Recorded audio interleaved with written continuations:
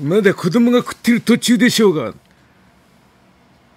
てね名シーンがありましたけど、親方の明日野郎はバカ野郎。はい。親いた五郎です。なんてね。はいこんにちは。親方です。今日はね私の相方がね北海道の人でね、お土産をね買ってきてくれてねそれがちょっとね面白かったんでね、うん今日はね、えー皆さんにねご紹介したいと思います。北の国からのね、黒板五郎さんのね、田中邦衛さんがね、演じてた役の人ですけど。その時のねあの子供とねラーメン屋さんでねあのいてもう閉店なんですけどなんて言われてねお金払ってもうすぐ片付けようとしした店員さんにねあの名シーンのねまだ子供が食ってる途中でしょうがなん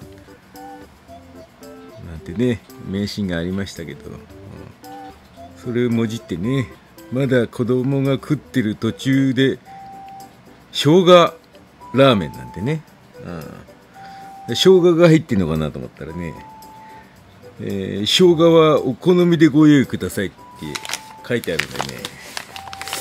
どうやらこれは生姜は入ってるわけではないみたいですよね、うん。あとね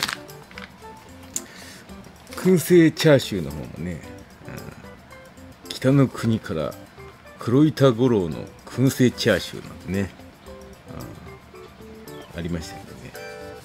これからね私ちょっと食べてみたいと思いますんでね、うんまあ、食べたらね、うんまた感想を言いますんで。この番組はご覧のスポンサーの提供でお送りしています。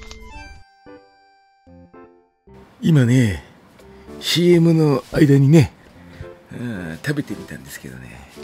やっぱりね生姜はね入ってませんでした、でもね、うん濃厚なね醤油味でねスープも麺も美味しかったですよ、まあお好みでねネギとかね、うんメンマとかね、うん。最近は見ないけどナルトとかもね、入れたらいいんじゃないかなと思います。それでねまだ子供が食ってる途中でしょうがなんていうね5個をね、うん。みんなでね、うん。やったらいいんじゃないかと思います。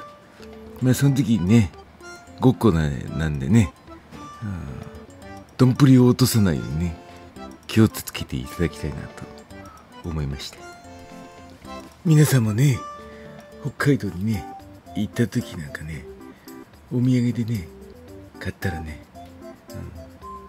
うん、面白いなんてね喜ばれると思います。